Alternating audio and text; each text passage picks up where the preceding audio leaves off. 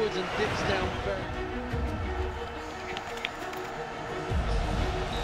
በየአራት ዓመቱ ፔሌ እጅግ ውብ ጨዋታ ብሎ የጠራውን ለመመልከት ዓለም በሙሉ ይታደማል።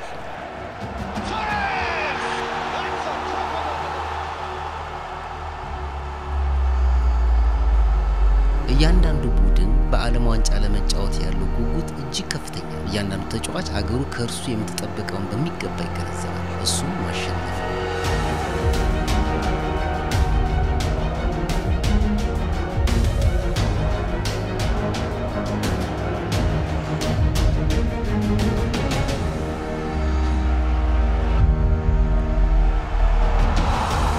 በግሩም ሁኔታ የጩኸት ድጋፍ ይስተጋባል።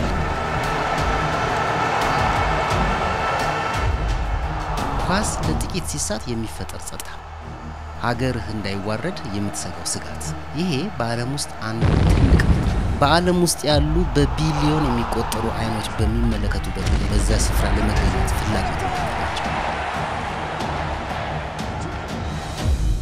በዓለም ዋንጫ ወቅት እንደ ብራዚል ጫና የሚበዛበት የእግር ኳስ ቡድን የለም። ኳስ በብራዚል ውስጥ የህብረተሰቡ ባህል ነው።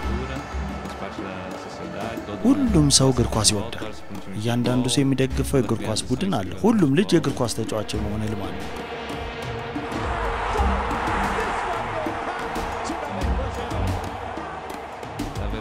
እንደ እውነቱ ከሆነ የእግር ኳስ ኮከቦች የሚወለዱት በብራዚል ውስጥ ነው። በየወቅቱ አስገራሚ የሆኑ ተጫዋቾች ይፈጠራሉ። ማንኛውንም ሰው ብራዚላዊ እንደሆንክ ብትነግረው እንዴ ታዋቂ የእግር ኳስ ተጫዋቾች የሆኑትን እነ ሮናልዶን፣ ሮማሪዮን፣ ሮናልዲኒሆን፣ ቤሌን ይጠሩላቸዋል። ቡድኑ በየትኛውም ስፍራ ግጥሚያ ቢኖረው ጥሩ ጨዋታ እንደሚያሳይና ሊያሸንፍ እንደሚችል ዘወትር ከፍተኛ ግምት ይሰጠዋል። ከዚህ የተነሳ በዚህ ቡድን ውስጥ የሚካተት ተጫዋች ሁሉ ሰዎች ከቡድኑ የሚጠብቁትንና ኃላፊነቱንም ጠንቅቆ ያውቃል። ስለሆነም ዋናው አንገብጋቢ ጉዳይ ድል ማድረግ ብቻ ምንም እንኳ ከፍተኛ ጫናና ኃላፊነት ያለበት ጉዳይ ቢሆንም በዚህ ሁሉ ውስጥ ግን መልካም ነገር ይፈልቃል። ይህ ፊልም በዓለም ዙሪያ የሚገኙ ተጫዋቾች በዓለም የዋንጫ ጨዋታ አገራቸውን መወከል ማለት ምን ማለት እንደሆነ ጠንቅቀው ስለሚያውቁ በተጨማሪ በሕይወታችን ውስጥ እጅግ አስፈላጊ ስለሆነ ነገርም ያወሳል።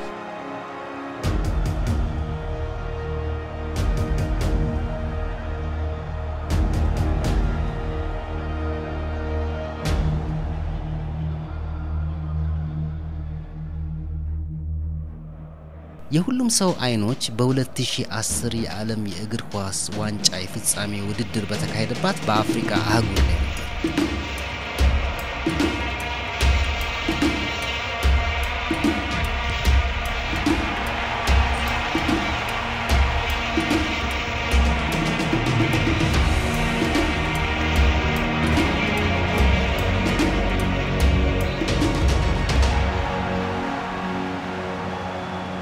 የኳስ ንጉሥ የሆነው ፔሌ በ1970ዎቹ መጨረሻ አካባቢ አንድ የአፍሪካ የዓለም ዋንጫ ሊያገኝ እንደሚችል ነበር። ሆኖም በዓለም ላይ ከፍተኛ ችሎታ ያላቸው ተጫዋቾች የነበሩ በመሆኑ ለአፍሪካውያን የታሰበው ህልም ሊጨናገፍ ችሏል። በ1990 ከፍተኛ ችሎታን የተጎናጸፈው የካሜሮን ቡድን ለግማሽ ማጣሪያ ውድድር ባለፈበት ወቅት ዓለምን አስደምጦ ነበር። የካሜሩኑ ኤኖህ በዚያን ጊዜ የተካሄደውን የዓለም ዋንጫ በሚገባ ያስታውሰዋል። በ1990 ካሜሮናውያን የእግር ኳስ ስኬት የተነሳ በእያንዳንዱ ወጣት አእምሮ ውስጥ አንድ ቀን በእግር ኳስ ጨዋታ በመጀመሪያው ረድፍ ላይ እንደሚቀመጡ እምነት አሳድረዋል። እኔም የነበረኝ ስሜት ተመሳሳይ ነበር። እዚያ ደረጃ ላይ ልደርስ እንደምችል እርግጠኛ ነበሩ።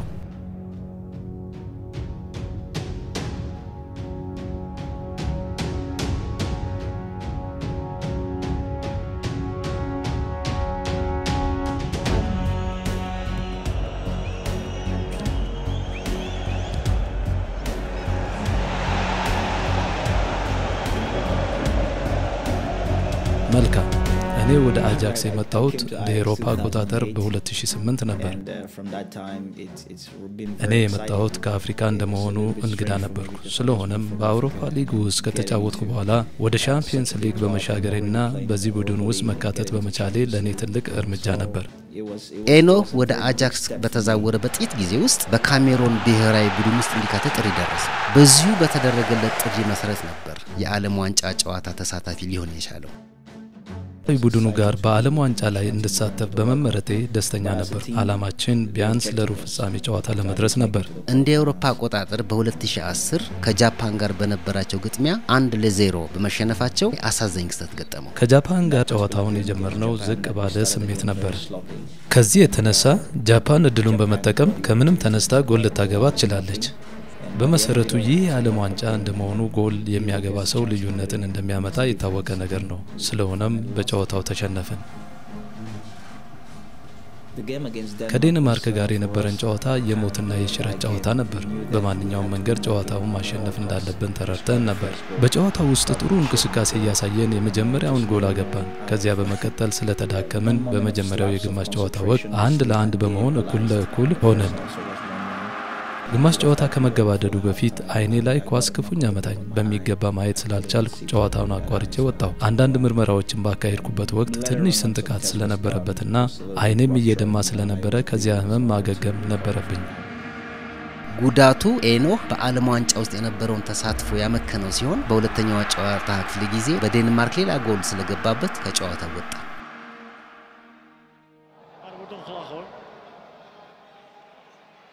Het is uh, van dat waar uh, vermaak zit vanmiddag. Oor, mooi voorzet. Het is 1-0 voor Utrecht. Dan toch. Mulenga. ጃኮብ ሙሌኛ በደች ሊግ ውስጥ ለኤፍሲ ኡትሬት የሚጫወትና ከፍተኛ ግባቢ ከሆኑ ተጫዋቾች ውስጥ አንዱ ነው። ሆኖም አገሩ ዛምቢያ ለዓለም ዋንጫ አልፋ የማታውቅ በመሆኗ በዚህ ውስጥ ለመሳተፍ ጃኮብ እድሉን አግኝቶ አያውቅም ነበር። ጃኮብ ግን ዛምቢያ ስለ እግር ኳስ ያላትን ስሜት ጠንቅቆ ያውቃል። በ2008 አገሩን በመወከል ተጫውቶ ነበር። ለብሔራዊ ቡድኑ ተመረጥኩ። አዲስ ዓለም ውስጥ የገባውን የመሰለኝ የሚያስፈራና የሚያስጨንቅ ነበር። ለብሔራዊ ቡድን መጫወት ምን ማለት እንደሆነ ካለማወቄም ባሻገር ከዚህ በፊት ይህን ያህል ከፍተኛ ቁጥር ባለው ሕዝብ ፊት ተጫዋች አላውቅም ነበር።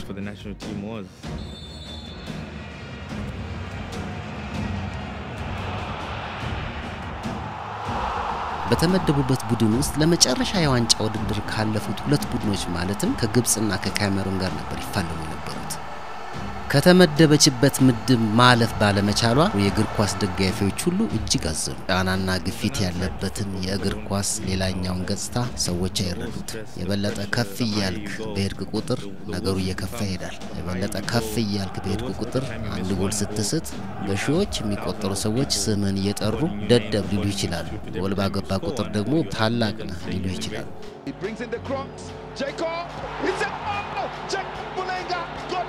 የዛምቢያ ቡድን በጨዋታቸው ላይ ለውጥ እያመጡ ነበር። ከዚህ የተነሳ በ2012 የአፍሪካን ዋንጫ ባነሱበት ወቅት ጃኮብ በጉዳት ምክንያት በወቅቱ በጨዋታው ላይ ለመሳተፍ ባይታደልም እንደገና ለሀገሩ ጎል በማስቆጠር ላይ ይገኛል።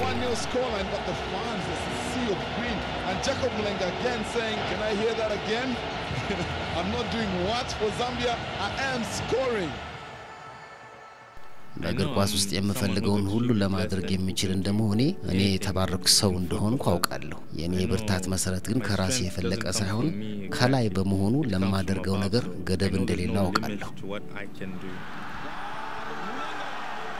ስለምንጋፈጠው ጫና ስንነጋገር ይሄ ጫና የሁሉም እንደሆነ አምናለሁ።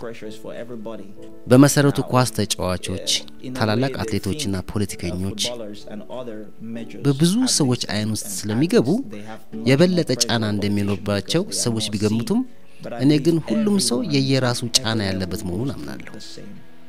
እኔ በግሌ ይህንን ጫና የምቋቋመው በክርስቶስ ላይ በመታመን ብቻ ነው። የእግዚአብሔር ዓላማና የእግዚአብሔር እቅድ ፍጹም መሆኑንና በዓይናችን ከምናየው ይልቅ የላቀ እንደሆነ ስለምንገነዘብ ማጽናኛ አለን። አሁን የምኖረው ኑሮ የራሴ እንዳልሆነ በምረዳበት ወቅት ኑሮዬ በሞተልኝ ሕይወቴን በሕይወቱ በለወጠልኝና የሰላምና የሐሴት ኑሮን በሰጠኝ በእርሱ መሆኑን እገነዘባለሁ።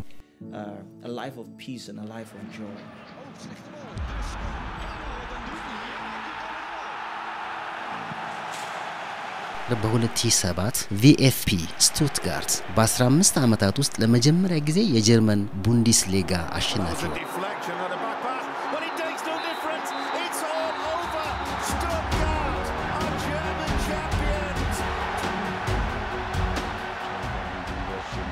የጀርመን ብሔራዊ ቡድን አሸናፊ በነበርንበት ወቅት በእጅጉ ተደንቀን ነበር። በተለይ ደግሞ ከጨዋታው በኋላ 200 ሺህ ያህል ሰዎች ከእኛ ጋር ሲደሰቱ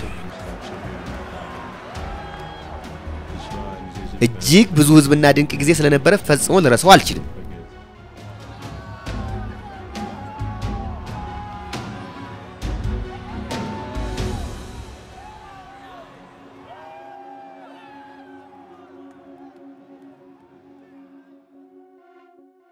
ካካው ትውልዱ ብራዚል ቢሆንም አብዛኛውን የእግር ኳስ ህይወቱን ያሳለፈው በጀርመን ሀገር ጎሎችን በማስቆጠር ነበር።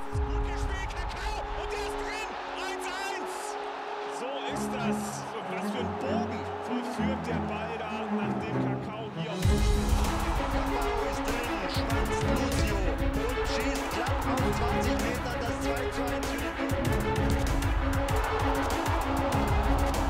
በ2009 ካካው የጀርመንና የብራዚል ዜግነትን አግኝቷል። እያንዳንዱ ጀርመናዊ የጀርመንኛ ስም ሊኖረው ይገባል በሚል እሳቤ ሄልሙት የሚል የቅጽል ስም አውጥቶለት ነበር።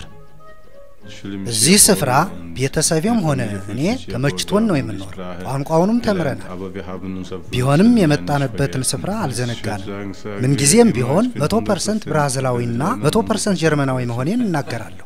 የጀርመን ዜግነትን ባገኘበት ቅጽበት ካካው ዝነኛ በሆነው የጀርመን ብሔራዊ ቡድን ውስጥ እንዲጫወት ጥሪ ተደረገለት። ለመጀመሪያ ጊዜ ለጀርመን ለመጫወት በመቻሌ ልዩ የሆነ ስሜትና ክብር ተሰምቶኝ የሰጡኝን እውቅና በምችለው ሁሉ ለመመለስ የሚቻለኝን ሁሉ ለማድረግ ወሰንኩ። ልጅ እያለሁ ዘወትር የዓለምን ዋንጫ እከታተል ነበር። ከፍተኛ የእግር ኳስ ጥበብ የሚታይበት ነበር። በከፍተኛ ጉጉት ነበር የምከታተለው። ሳላስበው ራሴን እዛው ውስጥ አገኘሁት።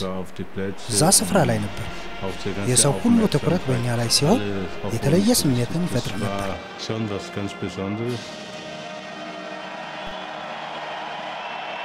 ካካው በ2010 በደቡብ አፍሪካ እንዲጫወት ሲጋበዝ እያንዳንዱ የእግር ኳስ ተጫዋች ሊሰማው የሚችለውን ስሜት ነበር የተሰማው።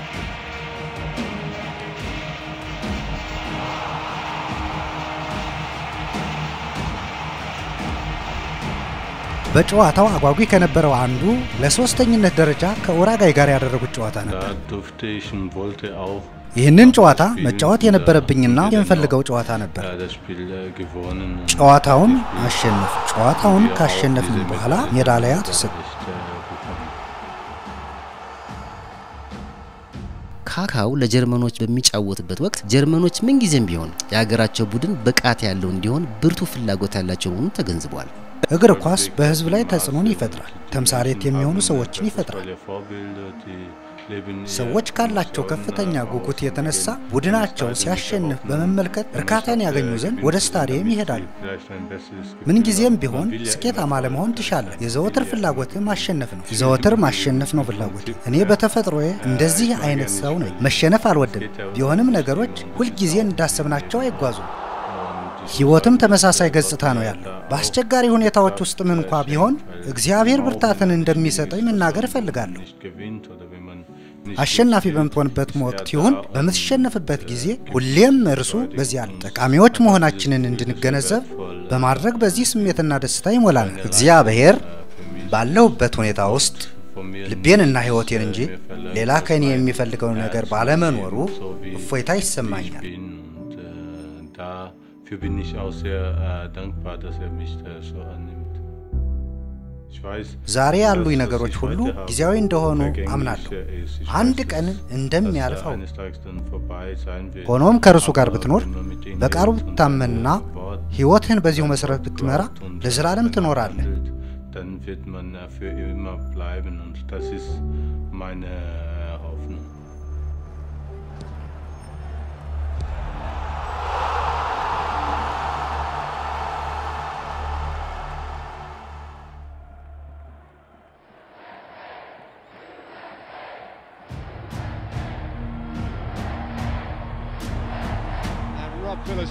right in it. Just a boy. Oh, what a save. In a sense, Guzan deserves that because he has been blameless, sometimes brilliant. Inside it comes now back inside Andre Santos, honking it. Andre right there, past the ball. What a save for Guzan. Tremendous. እኔ ኳስ የጀመርኩበት በልጅነቴ ፕሮፌሽናል ተጫዋች ሆኜ ለመቀጠል ብርቱ ፍላጎት ነበረ። በጨዋታው ዕለት የስም ዝርዝርህ በቡድን ውስጥ መካተቱን ስትሰማ በውስጥ የሚያልፈው ደስታና የተለየ ስሜት ነው የሚሰማኝ። የአሜሪካን ዜግነት ያለው ብራድ ጉዛን ልዩ የሆነ የግብ ጠባቂነት ችሎታ የነበረው ሰው ነው። በፕሮፌሽናልነት መጫወት በጀመረ በሁለት ዓመታት ውስጥ በግብ አግቢነቱ የዓመቱ የክብር ተሸላሚ ሊሆን ችሏል። ይህ በአእምሮ ሆነ በአካል ብዙ መሻሻሎችን በሚገባ ያየሁበት በተለይም በአሰልጣኝና በመገናኛ ብዙኃንም የተወደስኩበት ወቅት በመሆኑ ለምን በእንግሊዝ ወይንም በመጀመሪያ ሰንጠረዥ ላይ ከተቀመጡት የአውሮፓ እግር ኳስ ቡድኖች ውስጥ አልሳተፍም የሚለውን ሀሳብ በውስጤ መመላለስ ጀመረ። በመሰረቱ እንግሊዝ ግብ ጠባቂውን ፈልገው ነበር። በ2008 ብራድ በእንግሊዝ ፕሪሚየር ሊግ ውስጥ በሚገኘው በአስቶን ቪላ ውስጥ እንዲጫወት ግብዣ ቀረበለት። በመጀመሪያ ነገሮች እንዳሰበው አልሄዱለትም።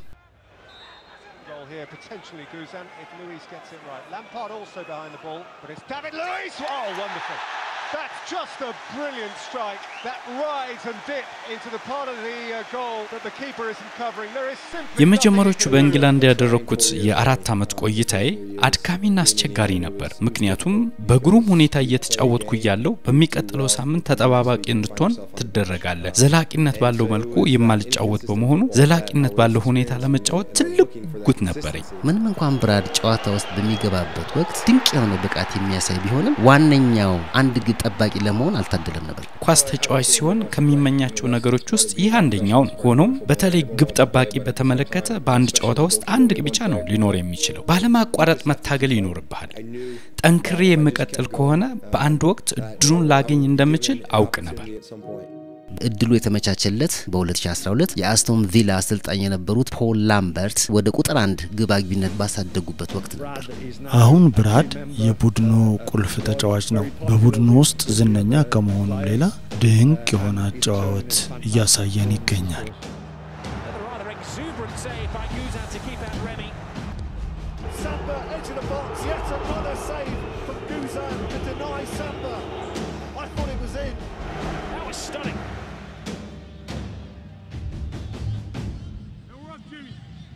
በመጀመሪያ በዓለም አቀፍ መድረክ ላይ የታየሁበት ለመጀመሪያ ጊዜ በእግር ኳስ ጨዋታዊ ጉዞ ውስጥ የተረበሽኩበት ወደ ሜዳ ስገባ የብሔራዊ መዝሙር ሲዘመር ስሰማ ኮከቦችና መስመሮች ያሉበትን ማሊያ የለበስኩበት ቀን ነበር።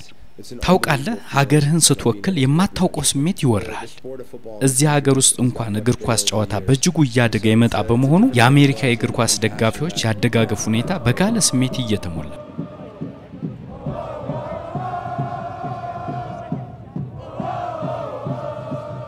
ፕሮፌሽናል ተጫዋች በምትሆንበት ወቅት በእንደዚህ አይነት ጨዋታዎች ቡድንህን፣ አገርህን መርዳት ትፈልጋል። ምንም እንኳን አስደሳች ነገር ያለበት ቢሆንም የተወሰነ ጫና ግን ይኖረዋል።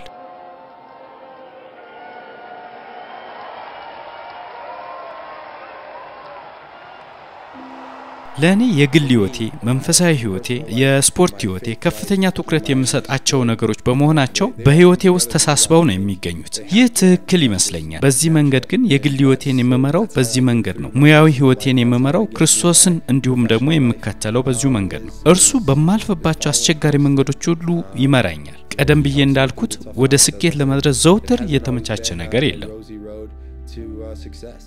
ብራድ በአስቶን ቪላና በአሜሪካ ብሔራዊ ቡድን ውስጥ የመቀጠሉ ጉዳይ አጠራጣሪ ቢሆንም ባለው ጽናት በእግዚአብሔር ላይ መደገፍ የተነሳ ወደፊት እንጂ ወደ ኋላ የመመልከት ሀሳብ አልነበረውም። ለሁላችንም እቅዳል። አንዳንድ ጊዜ የማሸነፍ አንዳንድ ጊዜ ደግሞ የመሸነፍ ጣ ሊገጥመን ይችላል። ቢሆንም ጉዳዩን የመያዝ ችሎታችን ግን ወሳኝነት አለው። አስቸጋሪ በሆኑ ሁኔታዎች ውስጥ ጌታ በሚሰጠን ምሪት ምክንያት እንደ ግለሰብና እንደ ተከታይ ብርታትን ታገኛለህ። Guzan, QPR would have taken the lead. That's an outstanding save. Top draw, top corner save from the American.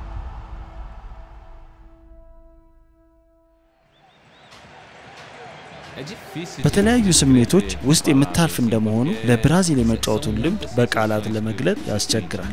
በልጅነት እድሜ የነበረኝ ህልም ለብራዚል ብሔራዊ ቡድን አንድ ጊዜ ብቻ የመጫወት ነበር። እግዚአብሔር እኛ ካሰብነውና ከገመትነው በላይ እንደሚያስብልን መጽሐፍ ቅዱስ ይናገራል። እኔ የተለማመድኩት ይህንን ነው። አገኛለሁ ብዬ ያላሰብኳቸውን ነገሮች አግኝቻለሁ። ካካ በዓለም ዋንጫ ለመጀመሪያ ጊዜ የተጫወተው ዋንጫ ባገኙበት ወቅት በ2002 ላይ ነበር።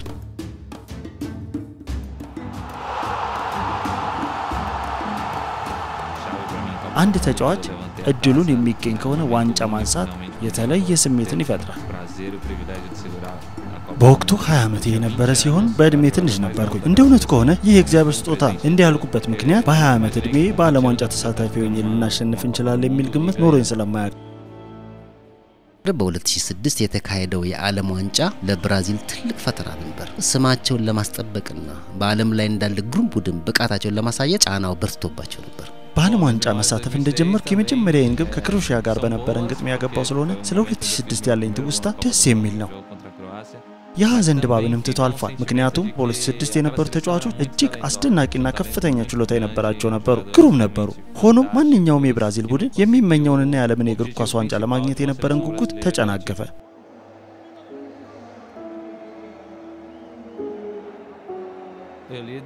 መቆዘምን የእግዚአብሔር የቅዱ አካል እንደሆነ አድርጌው ነው የምወስደው።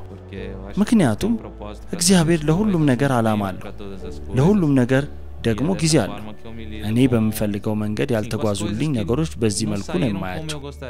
ታላቅ ምሳሌ የሆነው ኢየሱስ ያለፈባቸውን ሸካራ መንገዶች ለመመልከት መጽሐፍ ቅዱሴን ከፍታለሁ። እግዚአብሔር ሁሉንም ነገር ሊቆጣጠር እንደሚችል ያውቅ ነበር። እኔም በማልፍባቸው ሸካራ መንገዶች ውስጥ ተመሳሳይ ነገር ነው የገጠመኝ። የእምነቴን ጽናት የምገነዘብባቸውን ነገሮች እግዚአብሔር ጉዳይን እየተቆጣጠረ እንደሆነ በማሰብ እጸልያለሁ። ለኢየሱስ ገንዘብ፣ ዝና ወይም ስኬት ልዩ ነገሮች አይደሉም። የሰጠኝ ስጦታ ግን እግር ኳስን መጫወት ነው። ኢየሱስ የእግር ኳስ ተጫዋች በመሆኔ አይደለም ስለ እኔ ስለ ካካ ግድ የሚለው እርሱ ብዙ የሚገደው ስለ እኔ ስለ ሪካርዶ ነው። በስታዲየም ውስጥ ያለው ሁኔታ መልካም ቢሆንም ባይሆንም ትልቁ ነገር ያለው እኛን የሚወድ እግዚአብሔር እንዳለ ማወቃችን ላይ ነው።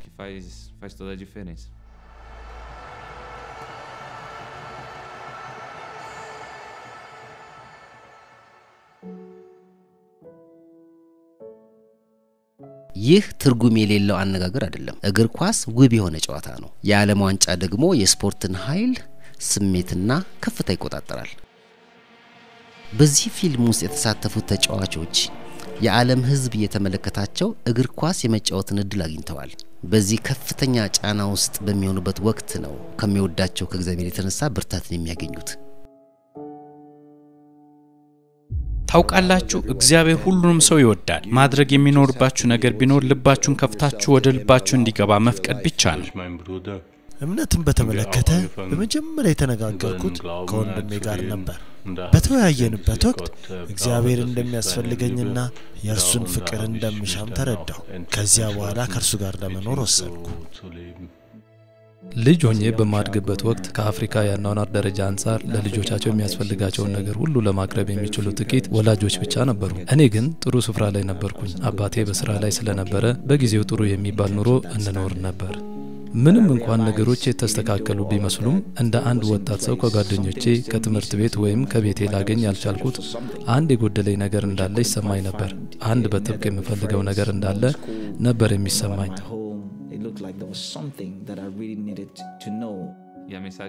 ዛሬ ለእናንተ ማስተላለፍ የምፈልገው መልእክት በሰውና በእግዚአብሔር መካከል የነበረው ግንኙነት በሚያሳዝን ሁኔታ ተቋርጦ ነበር። እግዚአብሔር ለእኛ ከነበረው ፍቅር የተነሳ ልጁን ኢየሱስ ክርስቶስን ለእኔና ለእናንተ ኃጢአት ሲል እንዲሞት ላከው።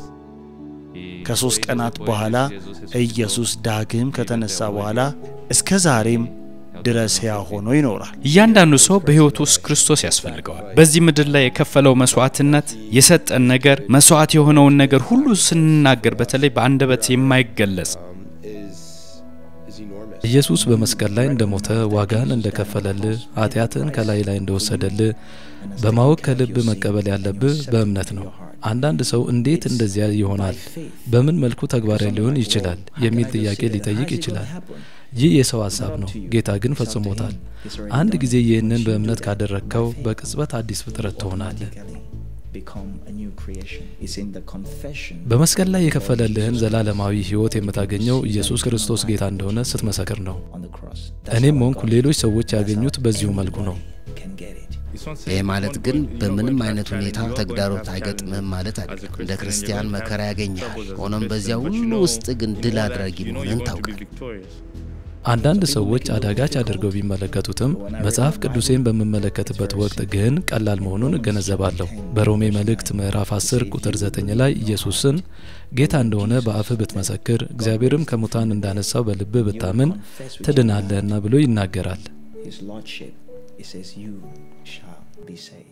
ኢየሱስ ክርስቶስን በሕይወቱ ጌታ የሚያደርግ ማንኛውም ሰው ይህ ነገር በሕይወቱ ተግባራዊ የሚሆን ነው።